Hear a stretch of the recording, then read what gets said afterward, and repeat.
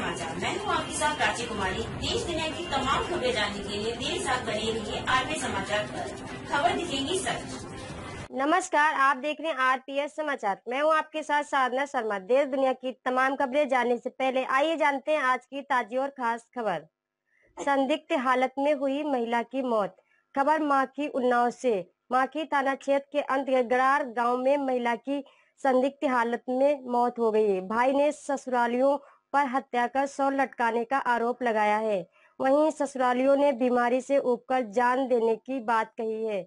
गड़ार गाँव निवासी कमलेश की 12 वर्ष पहले पवई निवासी गायत्री 35 वर्ष से शादी हुई थी। बुधवार सुबह 10 बजे गायत्री की संदिग्ध हालत में मौत हो गई। पड़ोसियों की सूचना पर पहुँचे शिवधाल ने बताया कि उसकी बहन का सौ ज़मीन पर पड़ा मिला। उसने ससुरालियों पर हत्या कर सौ लटकाने का आरोप लगाया।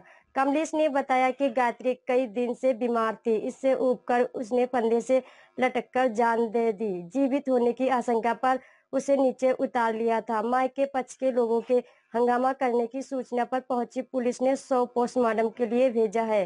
Bureau report, Unnao.